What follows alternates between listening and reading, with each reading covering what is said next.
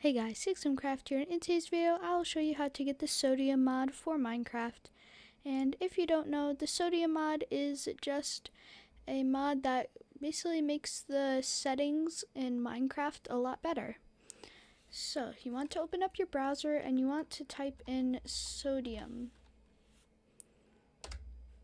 Not the chemical. You want to type in Sodium mod Minecraft and you want to click on the modrinth.com, not the CurseForge. And it should look like this, and you can click versions, and then click whichever one for the version that you want to use. Goes all the way back to 1.16.3, but today we're going to be doing the latest version of Minecraft 1.20.4. So you want to download that and it should download it right there. Now you want to go to Fabric Mod Minecraft. And you want to go to fabricmc.net and click download. Now you want to click download for Windows and it should download right there.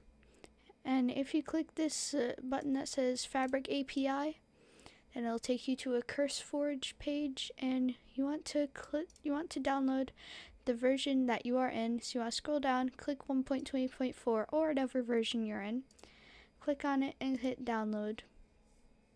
Now you do have to wait a few seconds for it to start downloading, and it should download. Now you want to close out of your browser and you want to open up your downloads files and you want to drag it onto the desktop. Now you want to go into the search bar and type percent app data percent and open up the .minecraft folder and go to mods. Now you want to put the fabric API into this and the sodium into this folder and that should do it. And I'm just going to get rid of these because I already have it in my mods folder. And then you can use the fabric installer. You want to choose your version and click install. And then when you open up the Minecraft launcher and you want to click on this little drop down box and select fabric loader if it does not pop up, don't worry. You want to go to installations, new installation, and find it should be right at the top or near whatever version you're playing in. Now you can load up that version and play some Minecraft.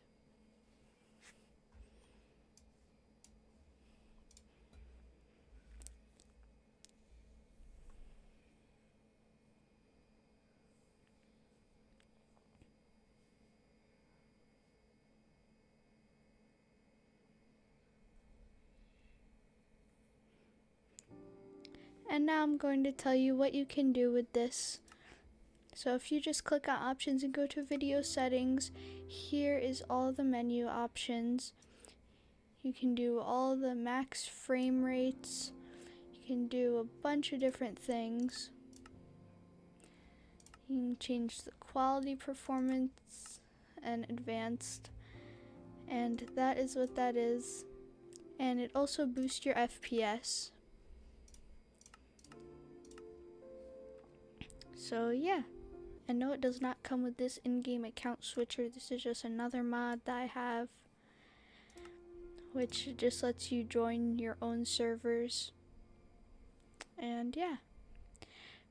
Hope you guys enjoyed today's video. If you did, like and subscribe and I'll see you in the next video. Bye!